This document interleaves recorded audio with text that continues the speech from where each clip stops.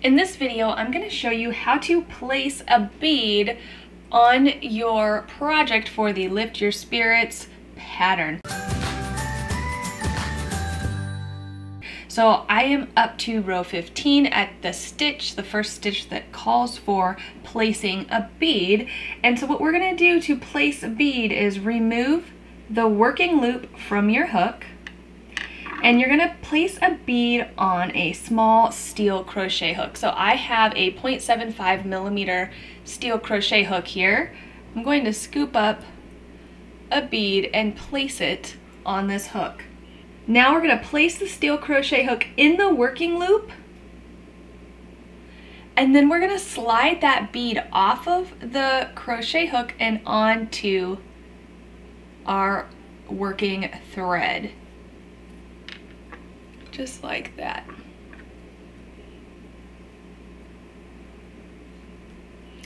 Then we're gonna place our hook back in our working loop and snug everything up.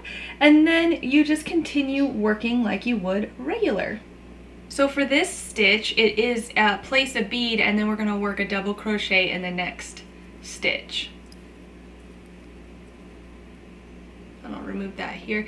So you can see what happens is it places the bead along the top of your double crochet. This is not the only way to place a bead in your crochet, but this is how they're placed in this pattern. Now, let me show you another method as well in case you can't fit your beads on a small steel crochet hook. So the other option, if your bead holes are too small, is to use a sewing needle with some thread attached. You can place the bead on your needle, place it into your working loop push that bead off onto the thread and then replace the needle back through the bead and pull that bead off of your small thread onto your working yarn is doing the exact same thing, just a separate method.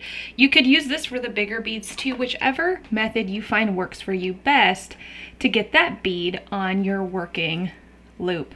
And so for this stitch, you just double crochet in the next stitch again. And now we've got two beads in our crochet. I hope you found this video helpful. Please reach out to me if you need further instruction by sending me an email at info at mandobug.com. And if you're making this shawl, make sure to tag me at mandobug and use the hashtag Lift Your Spirits MCAL if you're doing this for the Mystery Crochet Along, or Lift Your Spirits Shawl if you're doing it after the Crochet Along has ended. And until next time, guys, happy crafting. Bye.